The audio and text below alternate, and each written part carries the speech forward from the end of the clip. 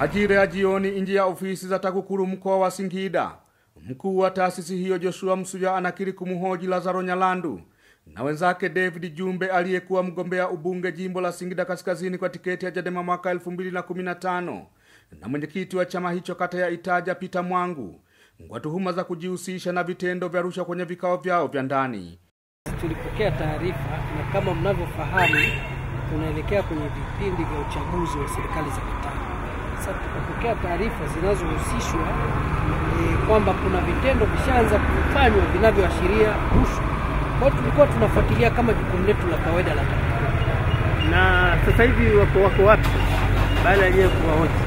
nafikiri wameenda kwenye chombo kingine cha dola ili nao waangalie kama kuna chochote ambacho wanaweza wakafuatilia kuhusiana na taarifa hizo.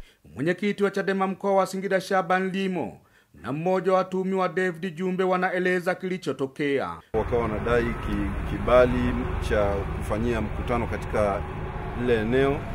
Tukawaambia hakuna kibali cha maandishi kwa sababu ni kwa mwanachama wetu na ni kuna nafasi. Kwa hiyo baada ya hapo kukawa na ile kudai kibali na mambo kama hayo, na sisi hatukuwa na karatasi nyingine yoyote ya kuonyesha. Basi wakatuamuru kwamba tuingie kwenye gari tuondoke tuje mjini. tunakuwa na vikao vya ndani ambapo vipo kisheria ambavyo tunakusanyika kwa ajili ya kuelekezana namna ya kufanya hizi shughuli za kusajili wanachama wetu na kufanya chaguzi, kwa sababu Chadema mwaka huu tuna uchaguzi mkuu wa chama mpaka kufikia mwezi wa tisa tuwe tumemaliza zoezi hili. Watuhumiwa wote watatu wamekabidhiwa kwa jeshi la polisi kwa ajili ya hatua zaidi za kisheria. Emmanuel Michael, Star TV, Singida.